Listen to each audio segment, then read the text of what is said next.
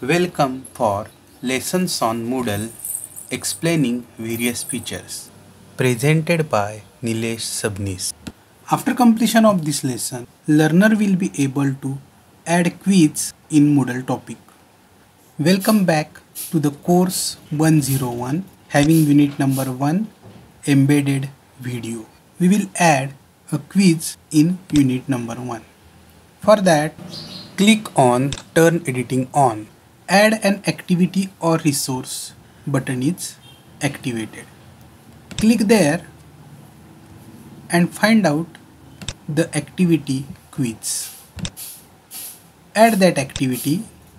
Give the name quiz 1 if you want to write information add in the description. You can set a timing. This quiz is open from 16 June to 17 June quiz will last for 5 minutes and we can assign grades attempts. Let's say it is only one attempt appearance settings review. When the result will be displayed that settings we can make it over here. You can change the layout showing how many questions on one page. some restrictions if you want to add.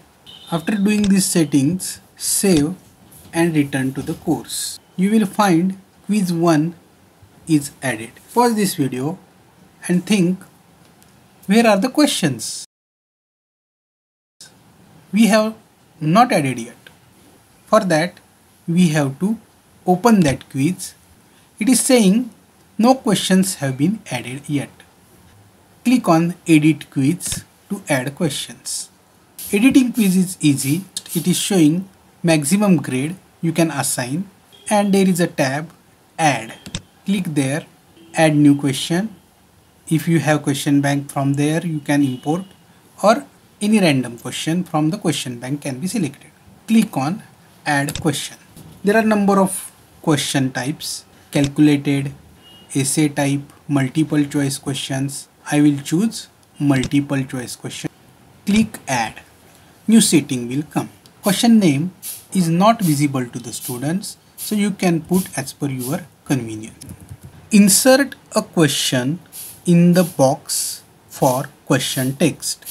What is the result of 1 plus 1 assign marks. Give some feedback if you want. Answer will be one answer only. Here are the choices. 1 plus 1 gives 2 and assign grades 100% let's give some wrong answer. 3 4 5 etc for correct answer you can give the feedback like correct answer. Save the changes. When we save and come back this quiz is having one question and go back to the quiz number one.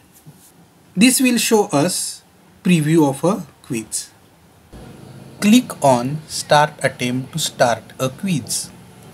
our question is appeared.